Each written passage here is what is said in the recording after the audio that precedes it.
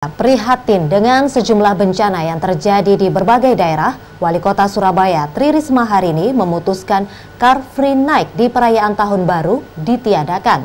Risma menghimbau agar warga Surabaya ikut prihatin dan menggelar kegiatan pengumpulan dana daripada berpesta pora. Pasti ada yang berbeda. Setiap Tak seperti tahun sebelumnya, Pemkot Surabaya tidak akan menggelar kegiatan Car Free Night pada perayaan malam pergantian tahun baru di Surabaya.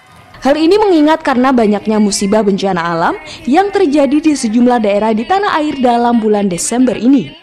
Untuk itu, Wali Kota Surabaya Tri Risma hari ini mengajak seluruh warga Surabaya untuk prihatin dan bersimpati pada seluruh korban bencana di pengungsian dengan tidak menggelar konvoi di jalan pada malam tahun baru nanti. Kalau bisa saya berharap uh, tahun ini kita bisa bawa uang yang uh, mungkin yang ada pertemuan di beberapa hotel, di beberapa itu yang mengumpulkan charity untuk kita membantu saudara-saudara kita yang saat ini mengalami musibah.